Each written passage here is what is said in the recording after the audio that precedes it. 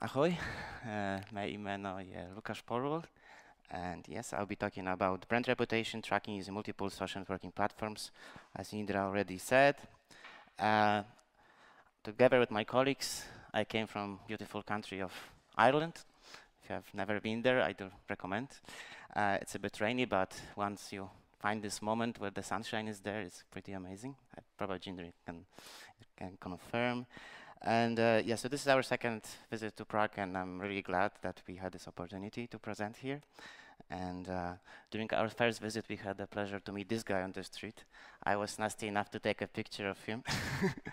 uh, and I was looking for a good reason to put it in the presentation, but I didn't find any. So uh, yeah, I'm talking about now what I'm supposed to.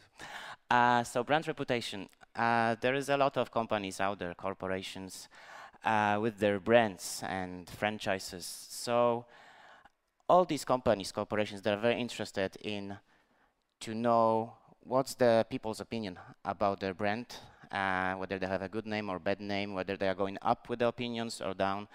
And uh, why is that? Well, it's very simple for these guys because that translates directly for benefit, for money.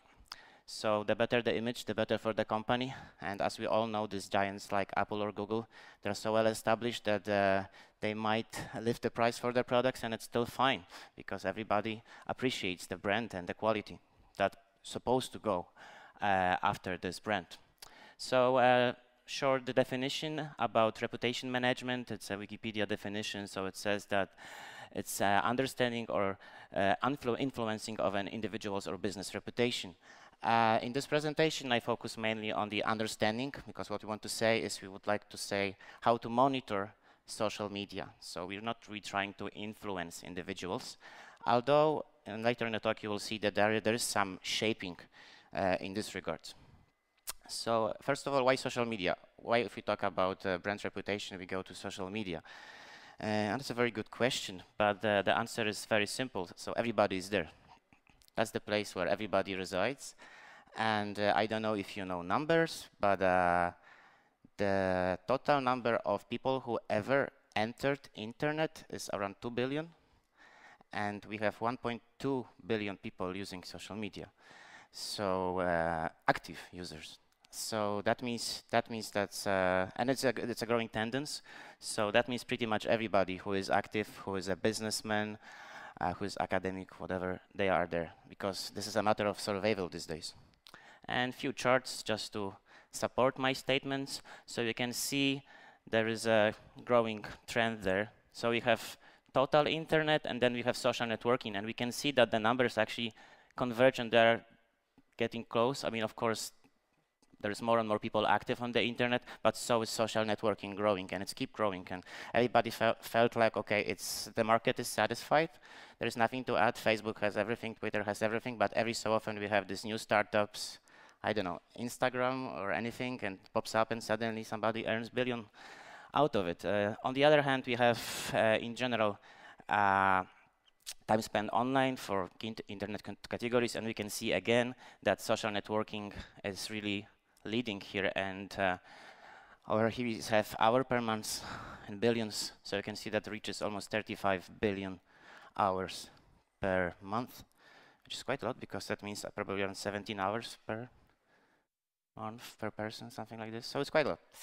Uh, here we have some tools that are already there. Actually I selected few. There is thousands of tools that are already there for uh, brand reputation management uh, these are usually tools to track social media, and it doesn't need necessarily to be brand reputation. It can be any topic, although very often they are used for this particular purpose because that's of interest for most of the companies. And uh, what's common for these solutions? Well, first of all, I would say easily 70% of this is based on Twitter because Twitter is so easy to mine.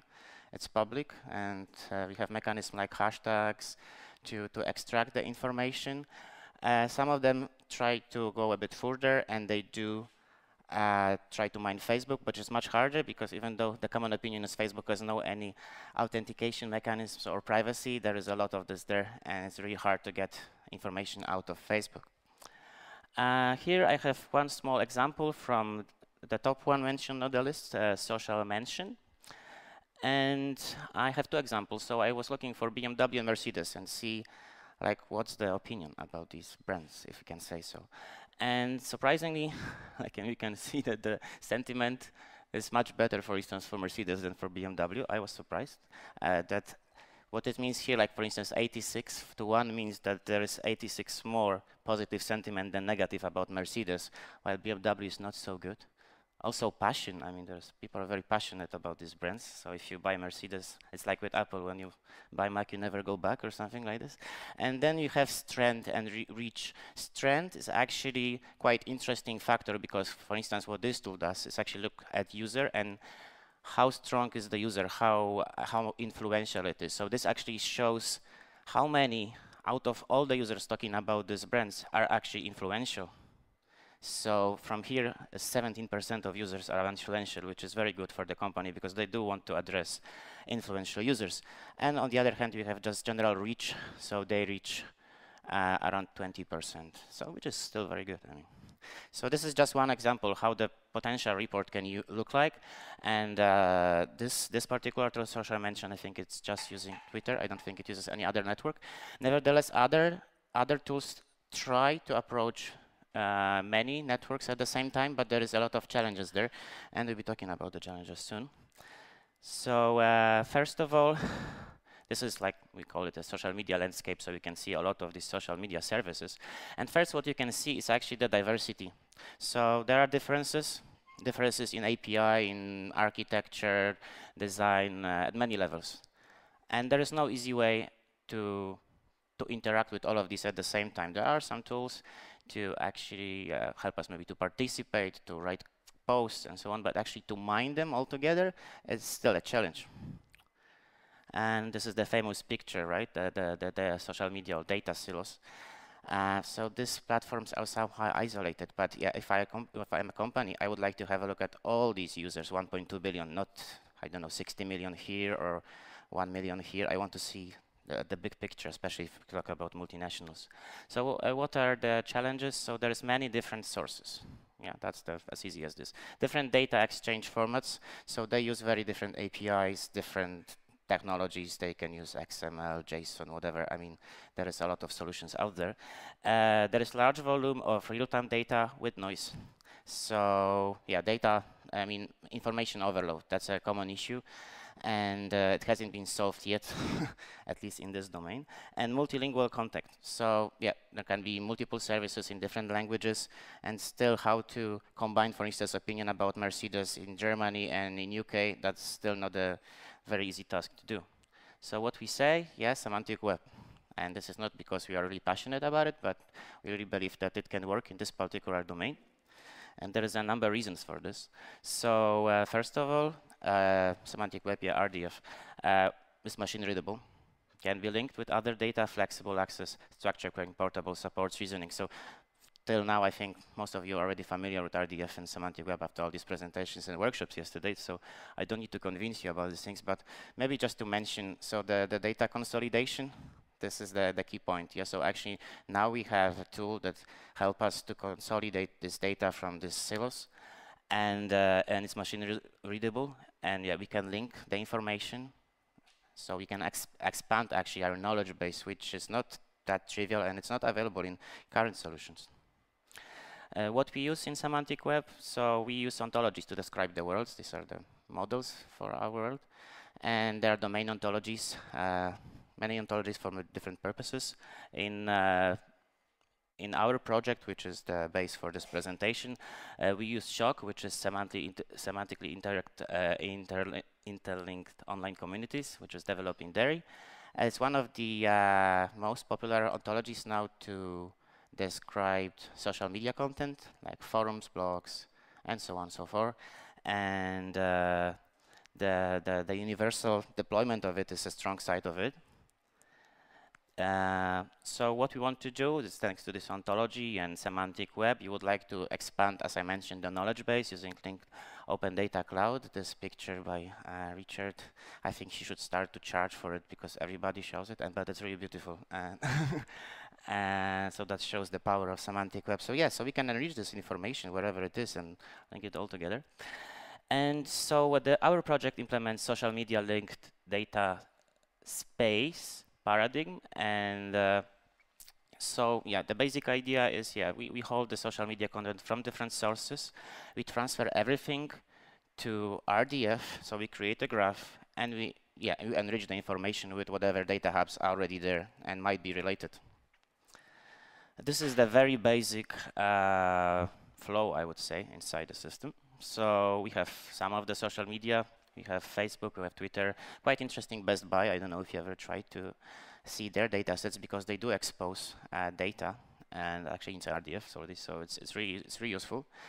And so we extract the data, then we convert it, I would say, uh, to link data, and then we perform some analysis and try to have a reasonable, concise reports for business, so it can be used as a business uh, decision support system. Slightly more in, de in detail, uh, so there is two paradigms here. So there is implicit invocation pattern and the blackboard pattern. To make it very simple, uh, implicit invocation pattern is an event-based system, and blackboard pattern means that we have a common knowledge space, and there is many contributors. In this case, we have many social media sources. They contribute something on this blackboard collaboratively, and every so often we can get the whole picture out of the blackboard, which is like collaboratively created. And uh, on the very bottom side, a bit technical. I hope it's not too technical. So we have data crawlers. So yeah, first of all, we need to mine this social media, wherever the, whatever the nature of them is. Then we perform entity recognition as the first step. So for that purpose, you can use uh, yeah, mm, Freebase or DBpedia Spotlight. There is a lot of solutions available now that you can uh, use for entity recognition. Then we perform interlinking. And yeah, at the last step, as it was shown on this flow diagram, we perform analysis and we try to make sense of all of it. On top of this, we have controller publishing framework, triple store, which is crucial because we need to store our uh, knowledge graph somewhere. And on top of that, we have some applications. So this is the front end for the user. And this is completely other thing. This is more about psychology, I would say, how to have an attractive uh, interface to present all these things. Uh, this is uh, architecture. I won't focus too much here because yeah, it's too technical. But anyway, what I can say is like you can see the same elements here. So you have the semantic model there. You have the event manager. If you remember, I said the whole system is event driven. And uh, yeah, you have social media pipeline. And what's interesting here separately, there is reviews pipeline like from Best Buy. We can also look at the reviews and uh, yeah, see, combine it with other information. So uh, technology choice, uh, why we did it. So one format representation, yeah, RDF. We, we, believe this is the way to go. There is one format, uh, one method for access the data. So there is SPARQL endpoint, so you can query the graph. So we, we create this big knowledge graph out of all social media sources. And then, yeah, we, I would say provide standard way to access the knowledge graph, SPARQL and endpoint, and you can use other tool to access the knowledge uh, the knowledge uh, graph. Linked, uh, linked to existing information hubs, so this is again about expanding the information, enriching the information in a semantic way. Uh, it's simple, easy to scale, uh, components can be distributed, uh, so yeah, a bunch of design uh, but anyway, we try to make it as flexible as possible, so it's very modular, and we can easily add new social media uh, wrappers, I would say, uh, because as we know, this cloud of social media is growing very fast, and we would like to have it uh, as complete as possible. So that also drives the, in, the, the infrastructure. Uh, what it could be potentially used for, so guiding decision-making process, that's quite straightforward. Sensing and tracking public sentiments on products and services, this is our aim. So as easy as this. Monitoring quality of services to improve quality of services. So yeah, if you have very negative uh, opinions, like very recently Xbox uh, got really a lot of critique regarding their new Xbox One, and they learned. So they actually apl applied a lot of changes. Uh, it was we could also observe similar situation with Windows 8. They did apply some changes, so it's not like this monolithic internationals will just uh, I would say hold to whatever they created, but you can see that there's more and more dialogue and there'll be more influence uh, in this regard. Exploring different views regarding projects and services. So yeah, people can have multiple points of view. Maybe they were not considered for some reason during the design uh, stage and still can be captured on some stage. And of course, analytics. And uh, uh I think I'm finishing slowly, maybe too fast. Uh, this work has been carried under yeah, link to the to media project. If you have any questions now, I'm very happy to answer. Uh, other than that, this is QR code to my LinkedIn profile, and I'm really happy to answer uh, later. So thank you very much.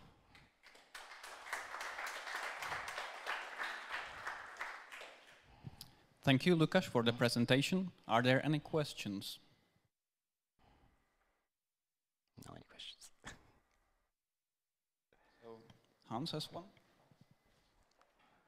Yeah, sorry, uh, so you talked about Twitter, but what about Facebook and the others? You talked about these walls. How eager uh, are they to share data? Can you say something about that? or? So as I said, with Facebook, it's a, it is a bit of an issue uh, because it's all driven by uh, uh, yeah, the privileges you have. So like you, by default, you have access only to the public stream, which is usually not very rich. Uh, so if you want to have more deeper analysis, you have to have a way to invite users to participate. Otherwise, it's quite tough. That's why I said like Twitter or other platforms are much easier to browse. Nevertheless, we cannot do anything about the privacy uh, policy of Facebook. Yeah, we, we can't hack Facebook. So yeah, it's completely driven by the uh, case basis policy uh, that's applied on the platform. We can't go beyond it. But uh, still, it's not our concern. We just try to consolidate everything, I would say, at the technical level. So as soon as there will be better policies there, yeah, we can fetch the data. Any other questions?